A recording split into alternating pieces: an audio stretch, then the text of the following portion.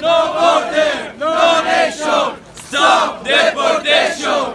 No border, no nation, stop deportation. In collegamento dalla frontiera di Ponte San Ludovico dove poco fa si è conclusa la manifestazione organizzata dal progetto 20K, una manifestazione simbolica per avvicinarsi al confine con la Francia e dimostrare che in realtà i confini per le persone non devono esistere. Scritte sull'asfalto, cartelli lasciati a titolo simbolico proprio a pochi centimetri dal confine con la Francia e la proposta di un passaporto europeo, un documento che permetta ai migranti in arrivo su territorio europeo di circolare all'interno dei paesi liberamente e di essere anche anche identificati appunto con questo tipo di documenti.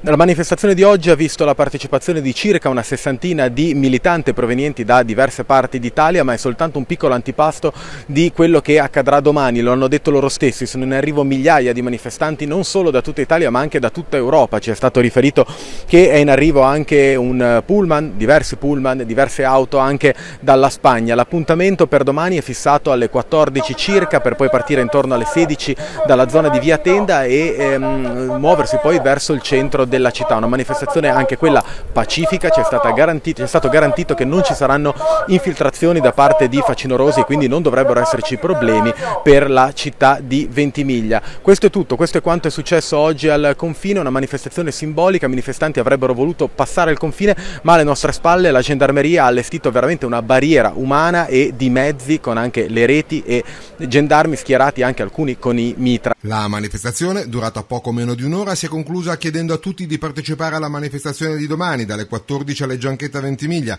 come evidenziato da Giacomo Mattioli, esponente dell'associazione Progetto 20K. Oggi siamo venuti in questo confine, su questo confine in frontiera bassa per far emergere le contraddizioni. Come vedete, appena un numero di persone si è presentato, il confine si è sigillato, noi siamo venuti con un permesso di soggiorno europeo che pensiamo che sia l'unico documento politico che debba esistere in Europa per far sì che tutte e tutti possano libera- liberamente circolare.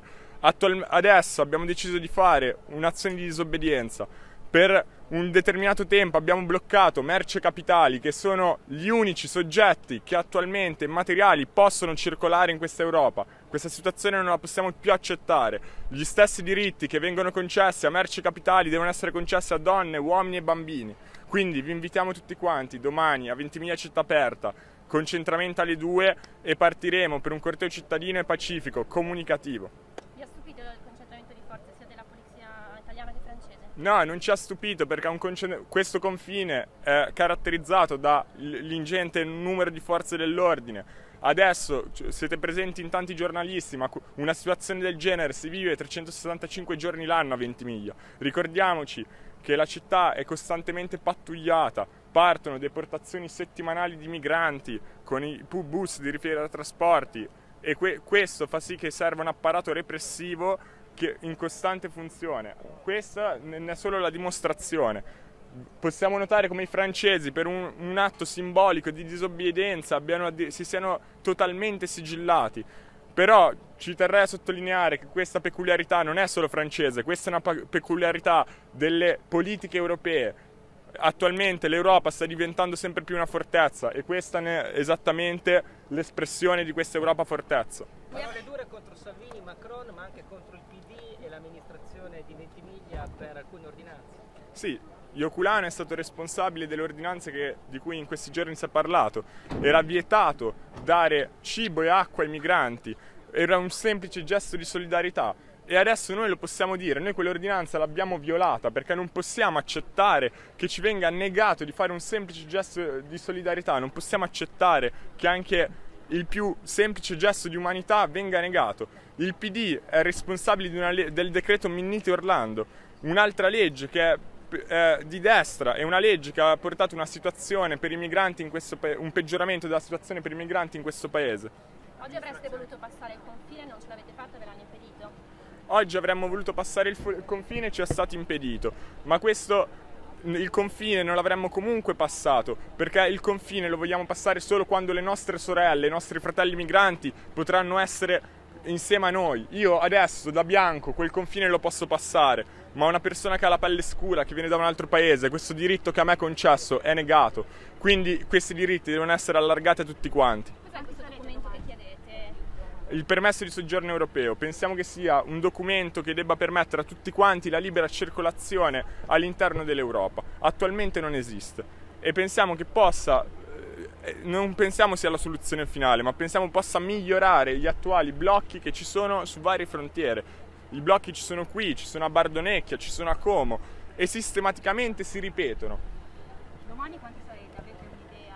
Domani saremo tantissimi perché non ci saranno solo movimenti sociali, non ci saranno solo attivisti, ma ci saranno associazioni, ci saranno singoli. Partiranno pullman da tutta Italia per venire qui. Ci sarà una carovana che sarà in viaggio in queste ore per arrivare dalla Spagna. Ci saranno ragazzi e ragazze francesi che verranno qui a darci sostegno. L'amministrazione dice che non ha nulla contro la manifestazione, era la data che era sbagliata. No, l'amministrazione non ha detto esattamente questa parola. L'amministrazione ha detto di andare a manifestare in Francia, perché secondo loro la Francia è l'unica responsabile della chiusura del confine. Noi non la pensiamo così. L'amministrazione comunale di Ventimiglia ha un bel pezzo di responsabilità per le ordinanze che sono state effettuate, per la posizione in cui è stato posizionato il campo della Croce Rossa. Questo non significa porsi in contrapposizione con la cittadina di Ventimiglia e con la popolazione di Ventimiglia. Come progetto 20K noi siamo presenti ormai da tre anni, stiamo sviluppando un rapporto con questa città, stiamo imparando a conoscerne i bisogni e le necessità. Quindi l'unica nostra contestazione va alla politica che amministra questa città. Avete paura che qualcuno possa infiltrarsi domani in questa manifestazione e andare ad intaccare questo, questo carattere pacifico di cui, di cui parlate? No, non abbiamo assolutamente paura di ciò perché il percorso è studiato per far sì che il corteo sia totalmente autotutelato. Specialmente ci sono state delle assemblee internazionali di costruzione in cui abbiamo parlato singolarmente con tutte le associazioni e le realtà che sono venute. Questo fa sì che il percorso è stato, stu- è stato esattamente come noi l'abbiamo costruito, tutti assieme, non solo 20K. Il pericolo che ci siano infiltrati è inesistente, quindi vi invito tutti quanti domani alle 2 a Ventimiglia, via Tenda 5. L'appuntamento è per domani dalle 16 a, ehm, nella zona di Via Tenda a Ventimiglia su sanremonews.it le foto, i video, le interviste, tutti gli approfondimenti su questa e sulla manifestazione di domani.